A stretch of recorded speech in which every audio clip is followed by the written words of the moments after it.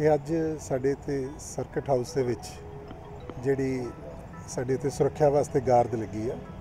ਉਹਨਾਂ ਦੇ ਜਿਹੜੇ ਕਰਮਚਾਰੀ ਨੇ, ਉਹਨਾਂ ਡਿਊਟੀ ਦੇ ਉੱਤੇ, ਉਹਨਾਂ ਨੇ ਮੈਨੂੰ ਫੋਨ ਕਰਕੇ ਦੱਸਿਆ ਕਿ ਇੱਥੇ ਕੁਝ ਲੋਕ ਮੀਟਿੰਗ ਕਰਨ ਵਾਸਤੇ ਆਏ ਨੇ, ਜਿਹੜੇ ਕਿ ਨੈਸ਼ਨਲ ਰਾਸ਼ਟਰਵਾਦੀ ਕਾਂਗਰਸ ਜਿਹੜੀ ਹੈਗੀ ਆ, ਉਹਦੇ ਨੁਮਾਇੰਦੇ ਨੇ, ਇੱਥੇ ਮੀਟਿੰਗ ਕਰਨ ਆਏ ਨੇ ਤੇ ਉਹਨਾਂ ਦੇ ਕੋਲ ਵੈਪਨ ਸੀਗਾ।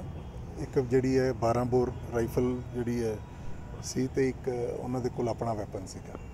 ਤੇ ਇਹਨਾਂ ਕਰਮਚਾਰੀ ਨੇ ਦੱਸਿਆ ਕਿ ਜੀ ਮੈਂ ਗੱਡੀ ਉਹਨਾਂ ਨੂੰ ਅੰਦਰ ਜਿਹੜੇ ਆ ਵੈਪਨ ਮੀਟਿੰਗ ਹਾਲ ਦੇ ਵਿੱਚ ਨਹੀਂ ਲੈ ਕੇ ਜਾਣ ਦਿੱਤੇ।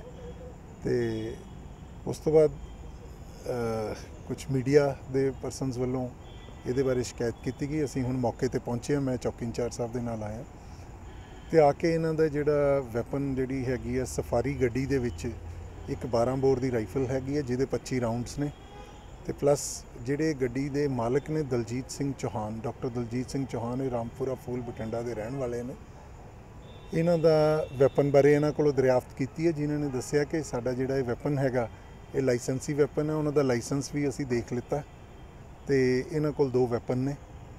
ਉਹ ਹੁਣ ਜਿਹੜੀ ਇਹਨਾਂ ਦੇ ਕੋਲ ਵੈਪਨਸ ਹੈਗੇ ਨੇ, ਉਹ ਔਰ ਇਹ ਲਾਇਸੈਂਸ ਹੈ ਜਿਹੜੀ ਇਹਦੀ ਆਥੈਂਟਿਸਿਟੀ ਜਿਹੜੀ ਚੈੱਕ ਕਰਨ ਵਾਸਤੇ ਦਾ ਯੂਆਈਡੀ ਨੰਬਰ ਵਗੈਰਾ ਅਸੀਂ ਲੈ ਲੈਂਦੇ ਆ ਇੱਕ ਤਾਂ ਇਹਨਾਂ ਦੀ ਵੈਲਿਡਿਟੀ ਔਰ ਕਿੱਥੇ ਤੱਕ ਇਹ ਕੈਰੀ ਕਰਦੇ ਨੇ, ਇਹਨਾਂ ਦੇ ਜਿਹੜੇ ਸੰਬੰਧਿਤ ਦਫ਼ਤਰ ਹੈਗਾ, ਉਹਨਾਂ ਨਾਲ ਅਸੀਂ ਰਾਫਤਾ ਕਾਇਮ ਕਰਕੇ ਉਹਦੇ ਵਿੱਚ ਜੋ ਵੀ ਆਰਮਸ ਐਕਟ ਦੇ ਤਹਿਤ ਜੋ ਵੀ ਪ੍ਰੋਵੀਜ਼ਨਸ ਨੇ, ਉਹਦੇ ਬਾਰੇ ਅਸੀਂ ਦਰਿਆਫਤ ਕਰਾਂਗੇ।